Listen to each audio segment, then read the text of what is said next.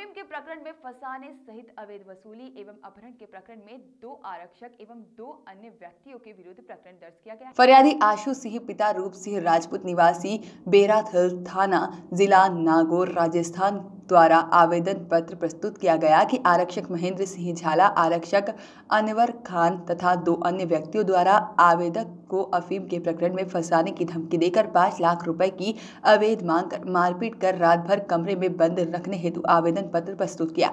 जाने एवं आवेदन पत्र में जाँच उपरांत पुलिस अधीक्षक श्री सूरज कुमार वर्मा के निर्देशन पर पुलिस थाना जावद पर आरक्षक महेंद्र सिंह झाला, आरक्षक अनवर खां एवं दो अन्य के विरुद्ध अपराध क्रमांक चार सौ तिरासी बटा बीस धारा तीन सौ पैंसठ, तीन सौ सत्ताईस तीन सौ चौरासी, तीन सौ तेईस, तीन सौ बयालीस, तीन सौ इकतालीस और चौंतीस भादवी के तहत पंजीबद्ध किया गया और दोनों आरक्षकों को गिरफ़्तार किया और प्रकरण विवेचना जारी है। सर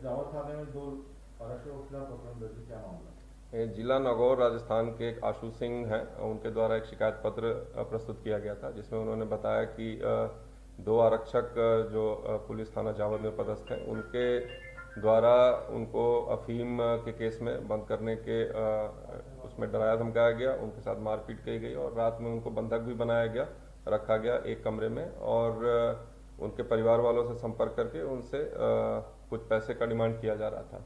तो इसकी प्रथम दृष्टिया तस्दीक की गई थी क्रॉस वेरीफाई किया गया था। जो फैक्ट्स थे वो अ, सही प्रतीत हो रहे थे। इसलिए इसमें दो आरक्षक जो हैं महेंद्र झाला और अनवर खान ये दोनों थाना जावद में पदस्थ हैं। इनके विरुद्ध और अन्य इनके साथियों के विरुद्ध एफआईआर दर्ज की गई है जिसमें 365, 327, 384, 323, 342, 341 इत्यादि धाराओं में केस दर्ज किया गया है।